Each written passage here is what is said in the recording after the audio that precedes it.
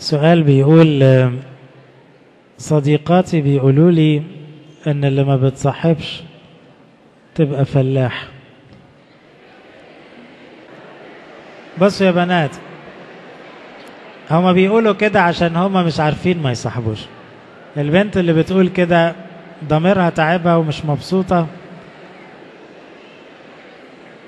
وبتقول كده بس عشان تعمل منظر. في كذا سؤال على الديتنج والصحوبيات والكلام ده. هقول كام فكرة بسرعة عشان ما نضيعش كل الوقت في القضية دي. اللي بتصاحب دلوقتي بتلعب بمشاعرها وهتندم طول العمر. اللي بيصاحب أو بتصاحب بتلعب بقلبها والقلب ده مش لعبة حاجة غالية. هتكبر بعد كده هتلاقي قلبها ما عندوش مشاعر تاني تديها لجوزها أو خطيبها بعد كده. الحاجة التانية أغلب الصحوبيات دي بيبقى فيها تجاوزات أفكار شقاوة لخبطة كلام عن الناس سمعة. الحاجات دي كلها لا تليق بأولاد الله. بنقول إن حكاية الصحوبية دي لعب بالقلب أو بالمشاعر وده تمنه غالي قوي طول العمر.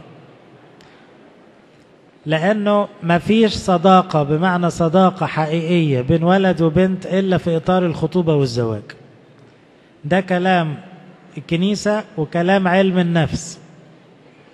فاللي بيعمل غير كده هو حر بس هيتعب طول حياته.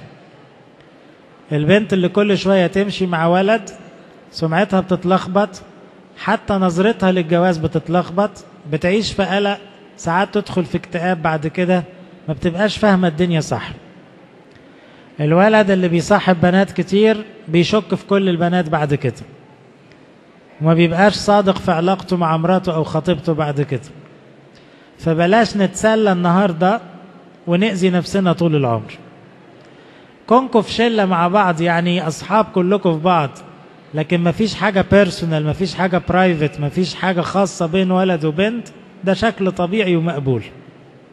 طالما في حدود وفي احترام وفي النور ومفيش حاجة مستخبية ومفيش كلام إعجاب ولا كلام خاص لغاية كده ده طبيعي.